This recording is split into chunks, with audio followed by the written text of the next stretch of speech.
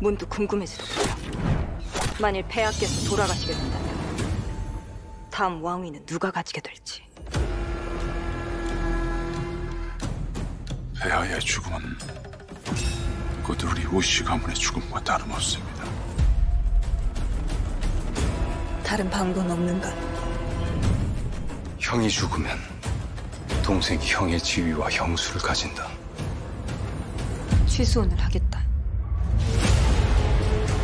내일 아침이면 폐하의 죽음이 알려질 것입니다.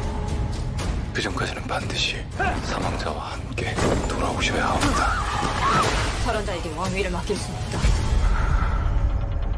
사냥할 게 있다 들었습니다.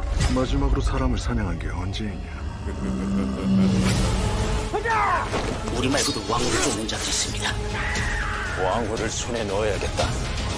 이제는 그대 스스로 그대를 지켜야만 할 것이야. 무슨 수를